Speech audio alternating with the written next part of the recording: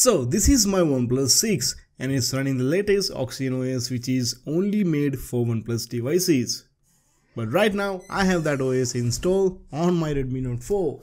Yes guys, finally we have OnePlus exclusive Oxygen OS on our Redmi Note 4 and this is an amazing time for custom ROM lovers because few days ago I installed Samsung OS on my OnePlus 6 but right now we are going to talk about this Oxygen OS on my Redmi Note 4 so let's get started.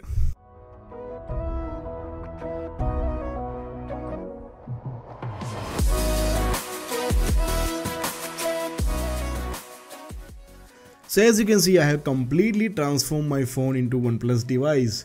We have OnePlus camera here, all the OnePlus apps and OnePlus features as you can see. Now let me go ahead and show you the setting menu. Now Android is considering my phone as OnePlus 5 running Oxygen OS Beta 26 and the Android version is of course Android 9 Pie. And apart from that everything here is just like OnePlus phone. The notification drawer, the setting menu, home screen. There is OnePlus dashboard here and when you go to app drawer and when you swipe right, you get the hidden space just like secure folder in Samsung. Isn't it amazing? Also in this ROM you get OnePlus navigation gestures, reading mode, gaming mode that is OnePlus exclusive. Then we have schedule do not disturb here of course, you get the face unlock feature, but for that you have to flash one more zip file. Now the OnePlus camera is running, it can take photos, it can shoot videos, but if you are using third-party apps like Instagram or Snapchat, then this camera app might force stop. So I recommend you to install Gcam and if you don't know how to install Gcam, you will find that video in this i button. And don't worry to install Gcam, you don't need to flash anything because Camera2 API is already enabled in this ROM. So guys, in case you want to try something completely new, then you should install this ROM on your phone. I highly recommend that AOSP ROMs are more similar and it's getting boring day by day.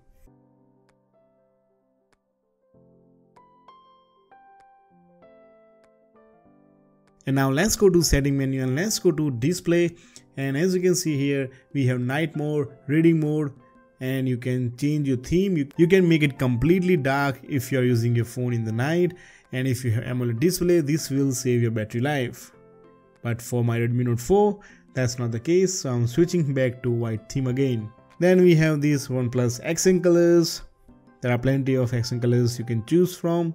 Then we have OnePlus font right now only two fonts available Roboto and OnePlus Slate and in the display setting, we have this status bar customization where you can customize your battery icon, you can include your percentage, and you can hide many status bar icons.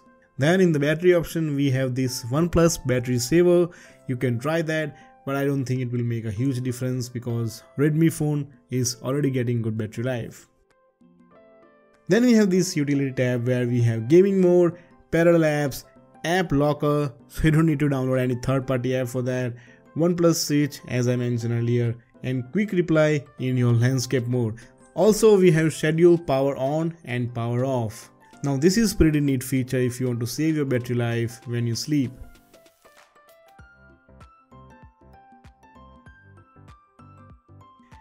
And apart from that we get OnePlus always on display.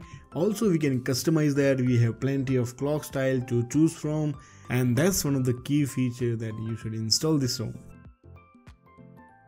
And as I mentioned earlier, right now it's best time for custom ROM lovers because few days ago I installed Samsung's One UI on my OnePlus 6. Also there is MIUI ROM available for OnePlus devices and now we have Oxygen OS available for Redmi phone.